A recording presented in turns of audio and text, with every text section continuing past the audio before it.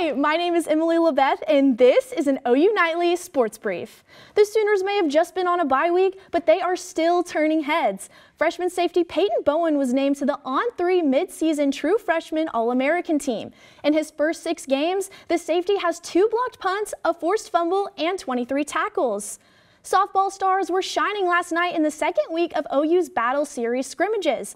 OSU transfer Kelly Maxwell retired Tiare Jennings and Kinzie Hansen in the first inning, but they got their revenge. Hansen and Jennings both had three hits and a home run on the night.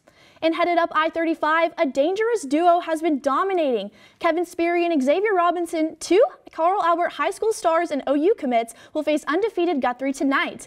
The Titans have outscored their opponents 430 to 74 this season and hope to continue their momentum tonight. This has been an OU Nightly Sports Brief. I am Emily LaBeth. Be sure to watch OU Nightly tomorrow live at 4.30. Good night.